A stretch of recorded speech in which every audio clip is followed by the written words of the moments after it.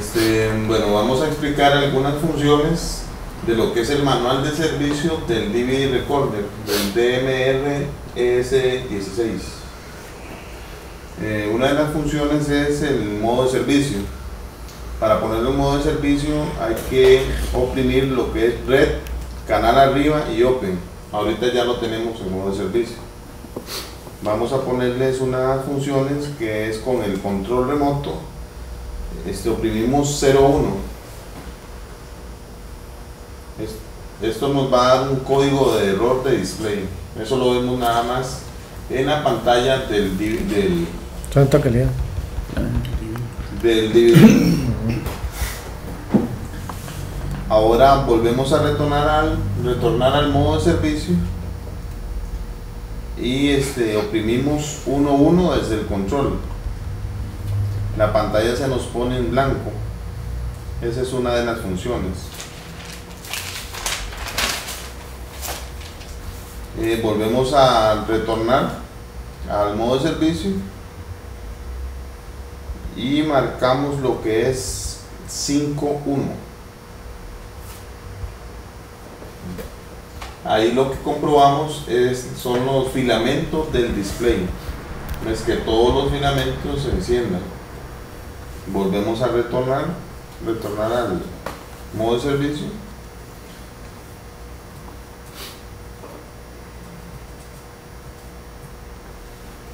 Ahora oprimimos lo que es 1, 2. Ahí también vemos el otro color que es magenta. magenta. Magenta.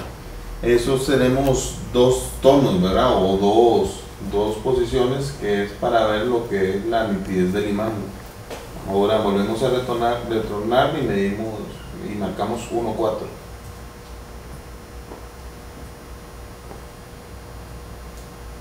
Newton.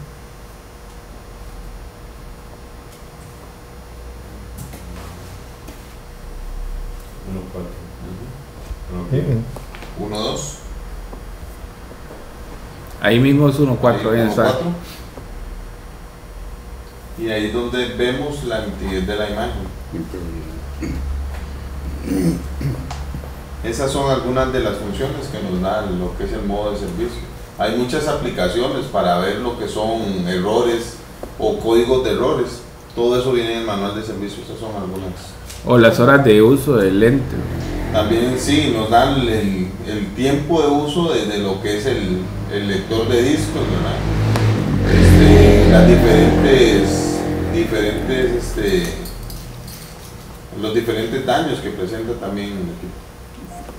Eh, sí, diferentes errores y también el historial, el historial de errores y la fecha de producción. La fecha de producción. El contador de, el contador de uso. El, contador de horas de uso también lo, lo da en segundos.